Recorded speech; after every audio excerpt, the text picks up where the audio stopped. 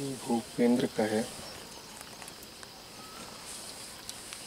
कह रहे हैं आचार्य जी प्रणाम। अब रहीम, मुश्किल पड़ी। गाढ़े दो काम, साचे से तो जग नहीं, झूठे मिले न राम।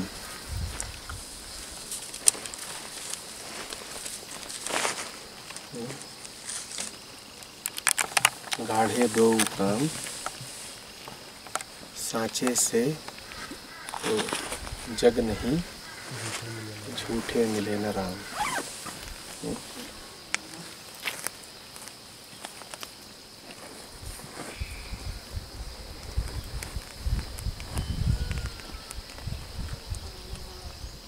डर मत जाना। ऐसा नहीं है कि सच्चों के लिए जग नहीं है।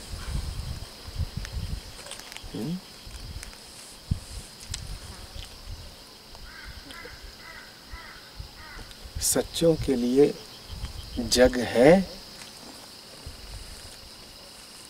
पर झूठा जग नहीं है।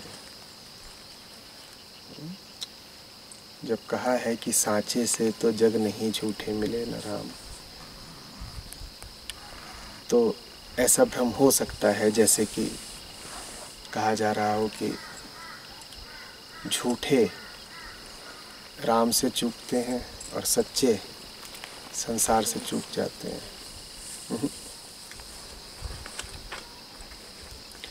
सच्चे संसार से नहीं चूकते। सच्चे झूठे संसार से बच जाते हैं। साचे तो जग नहीं। इसको ऐसे पढ़ो कि साचे को झूठा जग नहीं।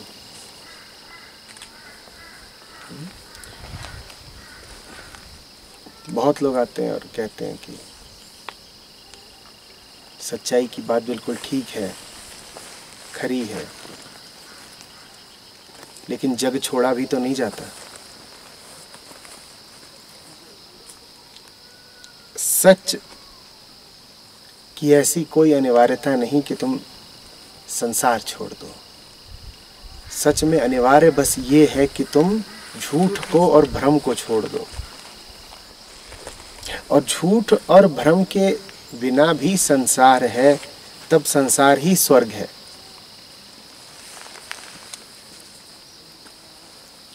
दिक्कत बस ये है कि हम झूठ में जीने के ऐसे आदि हो चुके हैं कि हमने संसार का आशय ही झूठा संसार लगाया है। संसार माने? झूठा संसार। जैसे कोई गंदा पानी पीने का इतना आदि हो चुका हो, कि उसके लिए पानी का अर्थ ही हो गया हो दूषित पानी। अब वो दूषित पानी को दूषित पानी नहीं कहता, वो उसे सिर्फ़ पानी कहता है। वो अब पानी ही किसको कहता है? दूषित पानी को।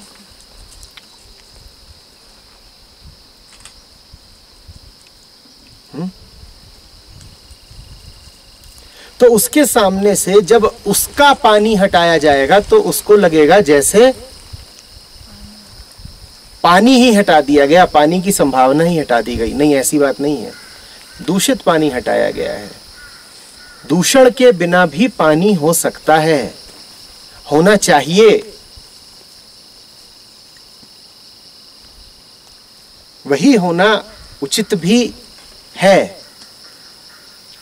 अचरज तो ये कि तुमने कैसे दूषित पानी के साथ समझौता कर लिया और तुमने कैसे दूषण को ही जल का पर्याय बना दिया।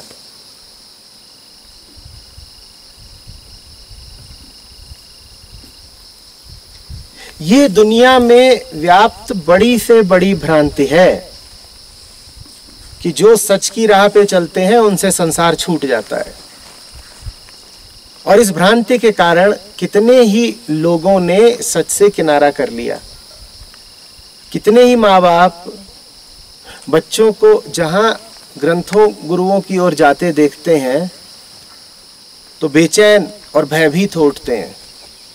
उनको लगता है जो सच की ओर चला, उसका संसार छूटा।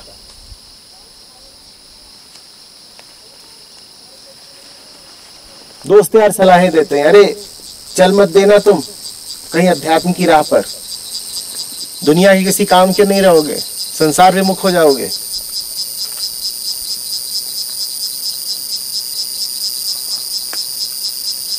प्रचलित मान्यता ही ऐसी है।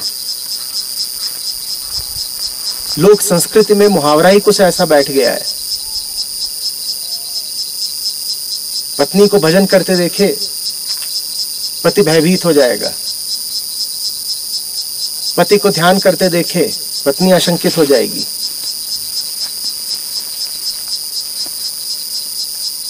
संसार छूटा इसका, तुरंत ऐसी भावना मन में उठती है। संसार नहीं छूटा। दोहराओ। झूठा संसार। झूठा संसार छूटा।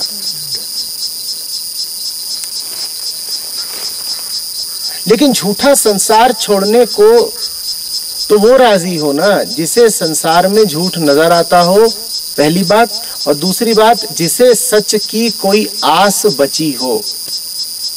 हम बड़े हताश हो चुके हैं हमने हथियार ही डाल दिए हैं हमने गलत जगह समर्पण कर दिया है। हमारे मन में कोई उम्मीद, कोई संभावना ही नहीं बची है कि एक मुक्त, आनंदित, प्रकाशित जीवन भी जिया जा सकता है। क्योंकि हमारे चारों ओर करोड़ों हैं जो अंधेरे में ही गुजारा कर रहे हैं तो हमने ये मान ही लिया है कि जीने का मतलब ही है अंधेरे में, अज्ञान में, अश्रद्धा में, संदेह में जीवन बिताना और ठोकरे खाना।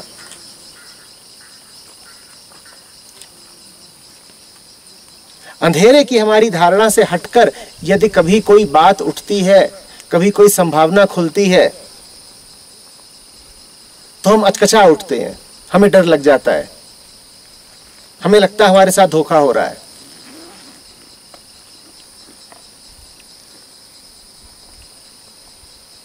उसी दृष्टांत पर वापस आओ।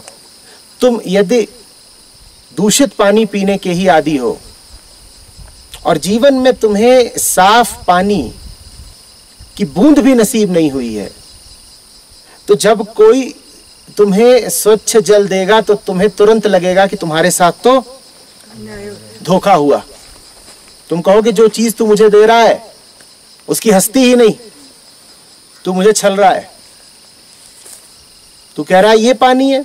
अरे पानी तो सिर्फ़ ऐसा होता है जैसा मैं पी रहा हूँ, जैसा मेरे पुरखों ने, पड़ोसियों ने, मेरे समाज ने पिया। पानी का नाम ही है मलिन पानी। तो तुरंत तुम शक करते हो सफ़ाई पर, सच्चाई पर। ये कितनी विद्रूप बात है। गंदगी पर शक नहीं जाता, क्योंकि गंदगी अब स्वीकार्य है। गंदगी ही सामान्य है। गंदगी ही ढर्रा है और रिवाज है। सफ़ाई कहीं दिख जाए तो तुरंत संदेह उठता है कि झूठ है ज़रूर कुछ। यूँ ही देख लो ना। तुम्हारे पास आकर कोई कहे कि फलाना ढोंगी है और धूर्त है और ठग है। तुम्हें मानते देर नहीं लगेगी। तुम कहोगे, ज़ाहिर सी बात है। ऐसे तो सभी होते हैं तो वो भी होगा। लेकिन कोई तुमसे आकर के कहे, नहीं साहब, वो जो उधर है, वो साफ़ है, निस्वार्थ है, निर्मल है, निर्भय है। तुम कहोगे, अरे जाने दीजिए, ऐसा भी कोई होता है? हम्म? बोलो। तो देख लो कि तुम्हारी धारणा में क्या बैठ गया है सामान्य बन के। क्या बैठ गया है सामान्य बन के? दूषण, गंदगी। उसको तुम सामान्य मानते हो। जबकि वो सामान्य नहीं है। जब स्वभाव ही है स्वच्छता, निर्मलता। तो दूषण को तुम सामान्य कैसे कह सकते हो? हुँ?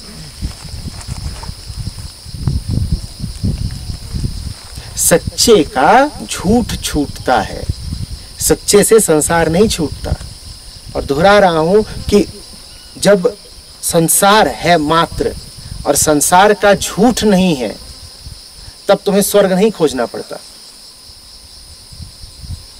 दुनिया नर्क इसलिए नहीं है कि दुनिया खराब है। दुनिया नर्क इसलिए क्योंकि तुम दुनिया को पहचान ही नहीं पाए। तुम झूठी दुनिया में जी रहे हो। तुम दुनिया कभी देखते ही नहीं, तुम्हारी आँखों पर काला पर्दा पड़ा हुआ है। तुम दुनिया के नाम पर सिर्फ़ अपने प्रक्षेपित झूठ देखते रहते हो। तुमने क्या कभी वो देखा है जो सामने है तुम्हारे? वस्तुगत तथ्य की तरह, तथ्य तो कभी दिखता नहीं। तथ्य के नाम पर हम अपनी ही आँखों से प्रक्षेपित झूठों को देखते रहते हैं। स्वरचित प्रवंचना में फंसे रहते हैं। जैसे हमारी ही आँखों से एक जाल प्रक्षेपित होता हो और हम ही उसमें फंस जाते हो। कहा हमें कभी दिखा है कि दुनिया क्या है? इंसान को कभी इंसान की तरह देखा है क्या? इंसान माने मेरा और पराया। इंसान माने मेरे धर्म का या दूसरे धर्म का। इंसान माने मेरा दोस्त या मेरा दुश्मन। कभी इंसान को इंसान की तरह देखा है क्या? हर इंसान के ऊपर तो तुमने पर्ची चिपका रखी है। हम्म? फलाना महत्वपूर्ण है, फलाना गैर महत्वपूर्ण है। कुछ भी तुम्हारे लिए कभी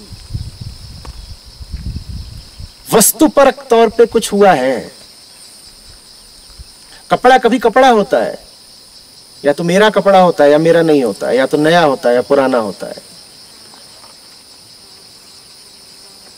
कोई कपड़ा है जिसके साथ तुम्हारी कुछ ना कुछ स्मृति ना जुड़ी हो।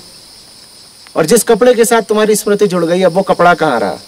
अब या तो तुम उसको संजो के रखोगे बीस साल तक। या तुम उसे देखते ही नफरत से भरोगे।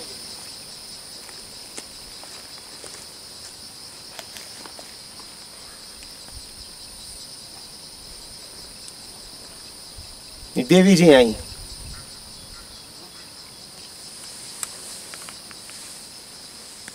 मैंने पूछा, क्या कर रही थी? बोली, होली जला रही थी। का होली तो अभी है नहीं। जितने कपड़े उसने दिए थे, सब जला दिए मैंने। रिश्ता टूटा तो कपड़े भी छूटने चाहिए। और गांधी जी सिखा गए थे ना, विदेशी वस्त्रों का दाह करना। तो जब वो परदेसी हुआ तो उसके वस्त्र भी परदेसी हुए। गांधी जी की सीख पे चल रही हूँ। सारे विदेशी वस्त्रों का दहन करो। वस्त्र वस्त्र थोड़े ही है तुम्हारे लिए। वस्त्रों के साथ भी तो तमगे चस्पा है।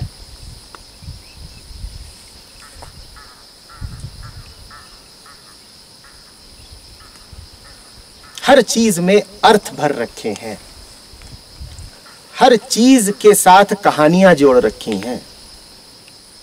हर चीज़ के साथ नाम चिपका रखे हैं। ये धारणा, वो मान्यता। जीने के लिए चेतना की ज़रूरत ही कहाँ है? स्मृतियों का भंडार काफ़ी है। सामने क्या है? वो देखने के लिए दृष्टि की, बोध की, चेतना की, ध्यान की आवश्यकता क्या है? हमें पहले ही सब पता है। स्मृति के गोदाम में हाथ डालो और जो चाहिए निकाल लो। सामने क्या है? प्रत्यक्ष क्या है? ये हमने जाना कहा। तो दुनिया का हमें कुछ नहीं पता है। दुनिया के नाम पे हमें जो कुछ पता है वो झूठ भर है। रहीम कह रहे हैं, झूठ छूटेगा, जिसे सच से प्यार हो जाता है। उसको बड़ी अकुलाहट उठती है पुराने में जीने में, क्योंकि सच पुराना तो कभी होता नहीं। वो तो बार बार बार बार प्रयोग करता है। वो तो बार बार कहता है कि चेतना का अपमान है। धारणा बद्ध होकर जीना। स्मृतिवश होकर जीना।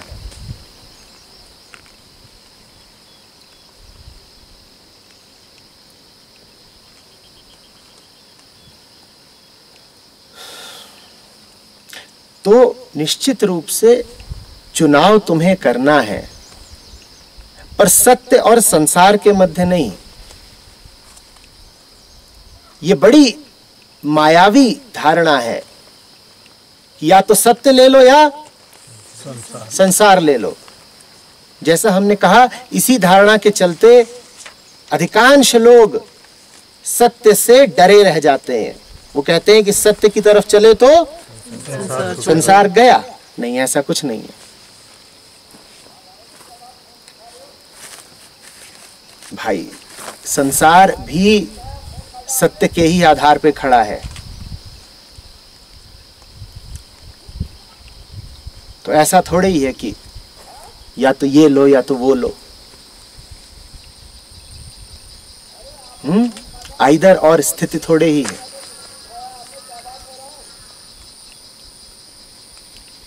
आ रही बात समझ में?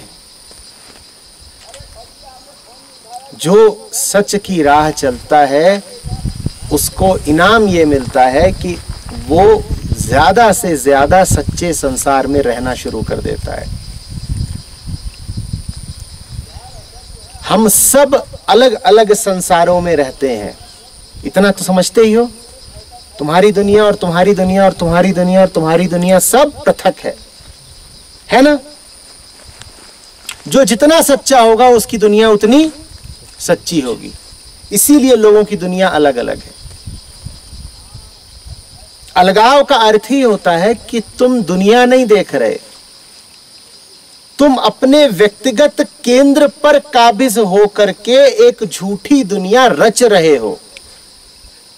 समझो बात को, किसी चीज़ को देखने में और किसी चीज़ का सपना लेने में अंतर है या नहीं है? बोलो। तुम एक चित्र के सामने बैठे हो, दीवार पे टंगा है। एक चीज़ है कि उसको देखा।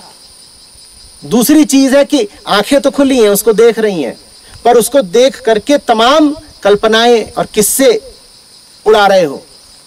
और उससे आगे की भी एक तीसरी चीज़ है कि उसको देखते देखते सो गए, और अब सपने में चित्र साकार सजीव हो गया है तुम्हारे लिए। चित्र उड़ रहा है, चित्र गा रहा है। चित्र वो सब कुछ कर रहा है जो तुम्हारी वृत्तियों को पसंद है। होता है ना? हम्म? समझते सच की तरफ़ चलोगे, तुम्हारी दुनिया सच्ची हो जाएगी। दुनिया सच्ची हो जाएगी, मज़े में रहोगे। झूठी दुनिया है यदि तुम्हारी तो ठोकर ही खाओगे। क्योंकि दुनिया की हकीकत तो तथ्य है। और तुम जी रहे हो फंतासियों में। तुम आकाश में फूल खिला रहे हो। जिनकी कोई जड़ नहीं, जिनका कोई आधार नहीं, पर फूल खिले हुए हैं, आसमान में टंगे हुए हैं फूल, और तुम्हें बहुत प्यारे हैं। मेरा प्यारा आकाश कमल, ऐसे फूल को तो मुरझाना भी नहीं पड़ेगा।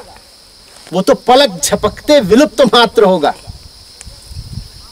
असली फूल तो कम से कम मुरझाते मुरझाते मुरझाता है। जरा तुम्हें चेतने का समय तो दे जाता है। आकाश कमल तो आँख बंद और गया। गया। इसीलिए फिर हमें झटके लगते रहते हैं। और ऐसे झटके लगते हैं कि फिर खोज रहे हैं, कहाँ गया मेरा?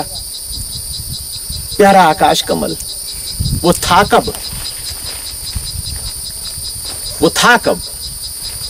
जिन्हें भी जीवन में झटके लगे हों, वो जान लें। कि आसमान की ओर देखते देखते आँखें बंद कर ली, और उसके बाद आसमान में प्रक्षेपित करना शुरू कर दिया सब। लो, देखो। पाँच शराबी लिटा दो यहीं ज़मीन पे। और ऊपर आसमान है, उसमें कुछ नहीं, खाली। और दुनिया का ऐसा कुछ नहीं है जो उन शराबियों को उस आसमान में ना दिख जाए। खाली स्थान है आकाश। बिल्कुल खाली है ना, वहाँ कुछ है? कहो, वहाँ कुछ है? पर पाँच शराबी लिटा दो, उनको बोलो, ऊपर देखो, बताओ क्या क्या है। घोड़ा, गधा, बकरी, आदमी, औरत, रुपया, पैसा। जो जो कहोगे, उन्हें सब वहाँ दिखेगा। और रो भी लेंगे, हंस भी लेंगे, कोई कहेगा, देखो, धन की वर्षा हो गई। सिक्के बरसे और सब भर लिए मैंने जेब में। वो आसमान से उसके सिक्के बरस रहे हैं। एक रो रहा है। कह रहा आसमान में सड़क जाती है। उस पर देखा, अभी मैंने मैंने। महबूबा मेरी भगी चली जा रही है। अब पकड़ नहीं आएगी। और रो रहा है बैठ के। हमें कहा कुछ पता है? फिर समझना, हम देखते नहीं हैं, हम रचते हैं, हम प्रक्षेपित करते हैं, हम सर्जते हैं। देखना माने जो दिख रहा है, उसका साक्षी भरोना उसे छेड़खानी नहीं करना, उसके ऊपर स्वयं को आरोपित न करना। यह है देखना मात्र। हम देखते कहाँ हैं? हम तो स्वयं ही मायाजाल रचते हैं और फिर कहते हैं, हमने उसको देखा। हमने उसको देखा। और फिर जैसे मकड़ी अपने ही जाले में फंस जाए, जब फंस जाते हैं तो कहते हैं, देखो दुनिया कितनी खराब है। यहाँ जाल ही जाल है। वो जाल बुना किसने? वो जाल बुना किसने? खुद ने तुमने ही तो बनाना। सच्चे आदमी की दुनिया सच्ची हो जाती है। सच्ची दुनिया में भरोसा है दिल का चैन है। सत्य के मतलब सच्चाई पर चलना या बिल्कुल। इसका मतलब? कुछ ज़्यादा गहरा मतलब नहीं। जो तुमको अपनी सीमित शक्तियों से ठीक लगता हो सच्चा लगता हो हिम्मत रखो उसका अनुपालन करने की। पहली बात। और दूसरी बात, सदा विनम्र रहो कि तुम्हें जो भी ठीक लगता है वो आखिरी सत्य नहीं। अब ये दो परस्पर विरोधी जैसी चीज़ें हैं, पर इन दोनों का एक साथ पालन करना है। जैसे रस्सी पे चलना हो, बिल्कुल संतुलन बना के। पहली बात, जो कुछ तुमने अपनी यात्रा के चलते, अपनी जैविक प्रकृति के चलते, अपनी सीमित सामर्थ्य के चलते सत्य जाना हो, उसको छोड़ना मत, भले ही उसका साथ देने कि कोई भी तुम्हें कीमत अदा करनी पड़े। छोड़ना मत उसको। और दूसरी बात यह हमेशा याद रखना कि सत्य सिद्धांत तो होता नहीं, सत्य मान्यता तो होता नहीं। तो जो कुछ भी तुम जानते हो, सत्य के तौर पर वो कभी आखिरी नहीं हो सकता। जो कुछ भी तुम्हें लगता है ठीक है, कल को उसको साबित होना ही है कि वो बस राह की बात थी, बीच की बात थी, उसके आगे अभी और आसमान है। और आसमान होंगे, पर आज तो तुम्हें वो उपलब्ध नहीं ना? तो आज तुम्हें जो शिखर उपलब्ध है, तुम उस पर दृढ़ता से आसीत रहो। उससे नीचे मत गिरना। कल को तुम और ऊँचे उठना। तो जहाँ पहुँचना, उसको पकड़ के रखना। परसों और ऊँचे उठना। तुम निरंतर अपनी उन्नयन की यात्रा पर रहो। तुम ऊर्धगामी रहो। और जिस भी मकाम पर, जिस भी शिखर पर, जिस भी पड़ाव पर हो, जिस भी स्थान पर हो, उसके साथ न्याय करना, उसके साथ वफा करना। जिस चीज़ को जान लिया कि ठीक है, उस पर अडिग रहना। और जिस चीज़ को जान लिया कि गलत है, उसके आगे कभी घुटने मत टेकना। हम्म? बिल्कुल नहीं।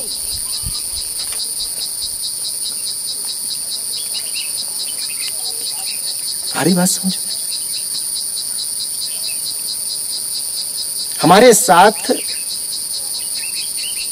त्रासदी ये नहीं है कि हमें सत्य का पता नहीं। देखो, आत्यंतिक और पूर्ण सत्य का पता तो कुछ हो भी नहीं सकता। जीव हो तुम। तुम्हें तो कुछ झलक ही मिलेगी। तुम्हें तो कुछ सापेक्ष सत्य का ही पता होगा।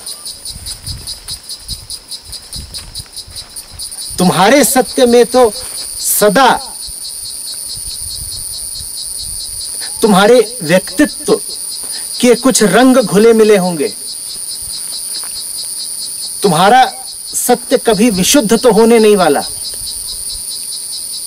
लेकिन जैसा भी है तुम्हारा व्यक्तिगत सत्य। तुम उसके प्रति भी कहाँ निष्ठावान हो पाते हो यह है तुम्हारी त्रासदी। समझना बात को। बहुत लोग बैठ करके परमेश्वर का जाप करते रहते हैं और कहते हैं कि परम पूर्ण, परिपूर्ण परमेश्वर मिल नहीं रहा। वो नहीं मिल रहा तो कोई बड़ी बात नहीं हो गई। असली सवाल दूसरा है असली सवाल यह है कि तुम्हें जितना भी मिला है, तुमने उसका पालन किया क्या? हम्म तुमने उसका पालन किया क्या? तुम्हें जो गहराई से पता था कि ठीक है, तुमने उतना किया होता तो आगे की राह भी खुलती। और नए क्षितिज खुलते, आसमानों से बादल छटते तुम्हारी हालत ऐसी है कि जैसे कोई छोटा बच्चा उसके सामने एक रोटी रख दी गई है, छोटी। उसको वो खा नहीं रहा और मांग ये कर रहा है कि देखो जैसे बड़े से बड़े और भीमकाय से भीमकाय आदमी को पाँच बड़ी बड़ी रोटियाँ रखी जाती हैं, वो हमारे सामने भी रखो। और उसके सामने नहीं रखी जा रही हैं पाँच बड़ी रोटियाँ। तो वो छाती पीट रहा है और कह रहा है कि देखो, जीवन असफल रह गया, पूर्ण नहीं मिला। तू अपूर्ण के भी काबिल है क्या? एक जो छोटी सी रोटी मिली थी, उसको तो तूने आत्मसात किया नहीं, उसको तो तूने ग्रहण किया नहीं। और तू बातें कर रहा है लंबी लंबी ऊँची ऊँची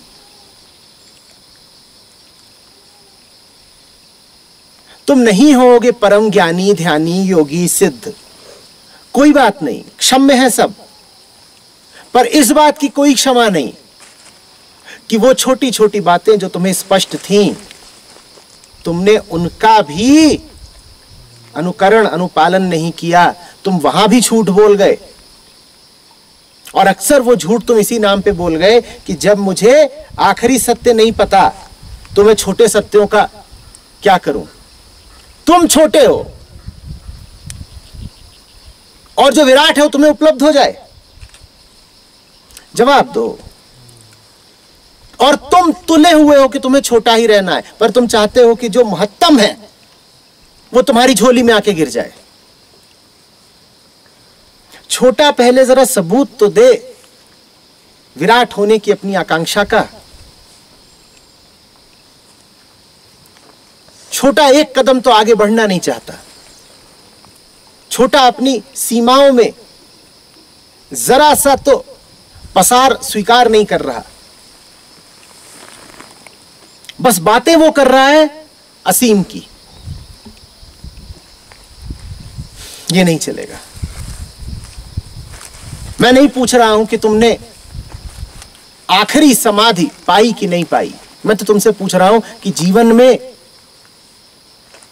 जितनी शांति तुमको उपलब्ध हो सकती थी, तुम्हारी सारी कमियों और ऐबों के चलते भी तुमने उतनी शांति से भी क्यों वंचित रखा अपने आप को? हम्म सवाल ये नहीं है कि गाड़ी सुपरसोनिक गति से क्यों नहीं चली? सवाल ये है कि गाड़ी जब 80 या 100 की गति पे चल सकती थी तो 10 और 20 की गति पर क्यों चलती रही? पर तुम कहते हो, नहीं साहब, हमारी गाड़ी को तो जेट विमान की तरह उड़ना चाहिए। और जेट विमान की लच्छेदार बातें करते हुए तुमने गति कितनी रखी हुई है? दस और बीस की। तो मैं तुम पर कभी ये सवाल रखता ही नहीं हूँ कि बताओ 800 और हज़ार की गति क्यों नहीं हुई तुम्हारी? वो जब होनी होगी तो होगी। परमात्मा जाने कि कब उसका हाथ आएगा और कब हमें भौतिक सीमाओं से पार कोई शक्ति दे जाएगा। मैं तो ये जानना चाहता हूँ कि जो भौतिक शक्तियाँ, जो साधारण क्षमताएँ तुमको उपलब्ध हैं, उनका इस्तेमाल क्यों नहीं किया? अस्सी और सौ पे क्यों नहीं चले? तुम्हारी गाड़ी दस और बीस पर क्यों घिसट रही है? ये बताओ ना। हम्म? तुम कहते हो नहीं मुझे तो जा करके। दुनिया भर की सम्मिलित फौज का मुकाबला करना है। ये तुम्हारी बातें हैं। और डरे बैठे हो, घर में घूमते चूहों से। एक चीटी आ जाए, एक छिपकली आ जाए, कॉकरोच आ जाए, तुम्हारी घिग्गी बन जाती है। और तलवार लेकिन तुम खूब भांजते हो, कहते हो दुनिया के जितने देश हैं, उनकी जितनी सीमाएँ हैं, सबको इकट्ठा करो। तब जाके वो सेना तैयार होगी, जिसका सामना करने में कुछ मज़ा है। हम्म? तो पीछे से झींगुर बोला, और तुम भगे ज़ोर से? अरे बाबा रे। तो पूछा, कहाँ भागे? बोले, जा रहे हैं विश्व युद्ध में शिरकत करनी है ना। झींगुर से भगे हुए हैं विश्व युद्ध की बातें।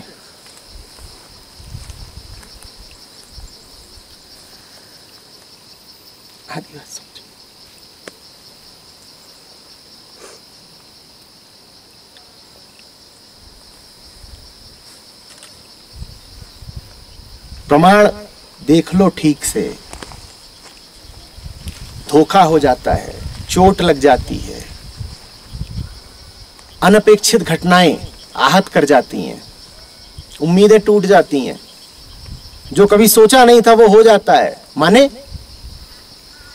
दुनिया का जो खाका तुम्हारे मन में खिंचा हुआ था वो नकली था झूठा था। तुम जिस नक्शे पर चल रहे थे वो नक्शा वास्तविकता का प्रतिनिधि था ही नहीं। तो तुमने तो नक्शा पकड़ रखा है, ज़मीन तुम देख नहीं रहे। बहुत लोग गाड़ी ऐसे ही चलाते हैं। सड़क कहाँ जा रही है, इससे उन्हें कोई मतलब नहीं। हाथ में नक्शा है, उसको देख के गाड़ी चल रही है। अब नक्शा निकला नकली। और वहाँ तुम्हें ले जा रहा है जहाँ सड़क ही नहीं है। और सामने खाई की गड्ढा की नदी। और तुम नक्शे के भरोसे चले जा रहे हो, क्योंकि तुम्हें तथ्य से मतलब ही नहीं है। तुम्हें तो मतलब उससे जो नक्शा तुमने रचा है और पकड़ा है, क्योंकि तथ्य तुम्हारी गुलामी नहीं करते। नक्शा तुम्हारा गुलाम है, तुम चाहो तो रेखा यूँ खींच दो कि यूँ खींच दो। तथ्य तो संप्रभु होते हैं। तथ्यों पे कौन राज कर सकता है? लेकिन कल्पनाएँ तुम्हारी हैं, तुम जो चाहो कल्पित कर लो। समझ रहे हो ना कि मन को तथ्यों की अपेक्षा कल्पनाएँ क्यों पसंद है? क्योंकि तथ्य तुम्हारे अनुसार नहीं चलते। तुम्हें बुरा लगता है। अरे अरे चोट लग गई। अहंकार को चोट लग गई। तथ्य तो बड़ी चोट पहुंचाते हैं। कल्पना? अपने अनुसार चलती है। जो चाहो कल्पना करो। गए फलाने व्यक्ति के पास। है वो तुमसे बात नहीं कर रहा है। तथ्य क्या है? वो तुमसे बात नहीं कर रहा है। तो तुमने कहा, तथ्य को छोड़ो। आँख बंद करो कल्पना करना शुरू करो कि हम उससे मिले हैं फिर झूला झूल रहे हैं फिर गले मिल रहे हैं फिर दोनों इकट्ठे पहाड़ चढ़ रहे हैं हाथ में हाथ झुलाते हुए। अब तुमने कल्पना करके उस व्यक्ति को अपना गुलाम बना लिया। तुम्हारी कल्पना में वो व्यक्ति वही सारे काम कर रहा है जो तुम चाहते, चाहते हो। तथ्य में ऐसा नहीं हो सकता। तथ्य में वो व्यक्ति तुम्हारा गुलाम नहीं, नहीं है। और तुम चाहते हो कि तुम गुलाम बनाओ, क्योंकि अहंकार ऐसा गुलाम होता है कि पूरी दुनिया को गुलाम बना लेना चाहता है। हुँ? जो गुलामी का आदि हो गया है, उसे आज़ाद लोग नहीं पसंद आते, वो दुनिया भर को गुलाम बना लेना चाहता है। तथ्यों में जीना, उसे दमघोटू लगता है। तो फिर वो कल्पना करता है, अपनी धारणा बना लेता है, मान्यता बना लेता है। अब वो जांचना ही नहीं चाहेगा, अब वो तथ्य परखना ही नहीं चाहेगा। कल्पना कर ली तो कर ली भाई, ठीक। और कल्पना में सब कुछ वैसे ही हो रहा है जैसा हम चाहते हैं। मुंगेरी लाल के हसीन सपने।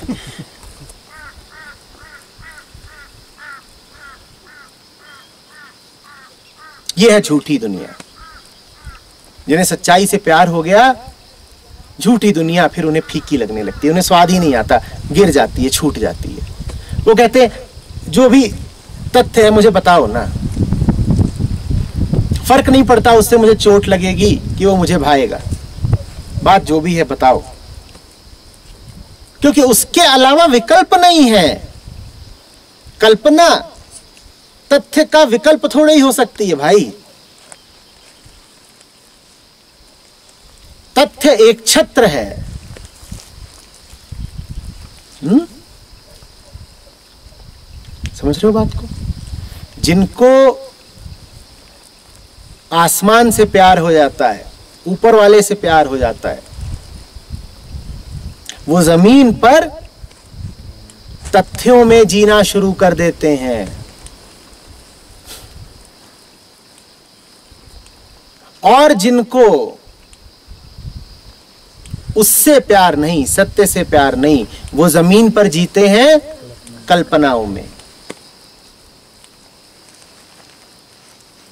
सच्चे आदमी और झूठे आदमी में ऐसे ही भेद कर लेना। किसी से पूछने की ज़रूरत नहीं है कि बता बेटा, तुझे परमात्मा से प्यार है कि नहीं है। ये शब्दों का खेल थोड़ी है कि कोई कह दे है और कोई कह रहा नहीं है। इससे कुछ सिद्ध नहीं होता।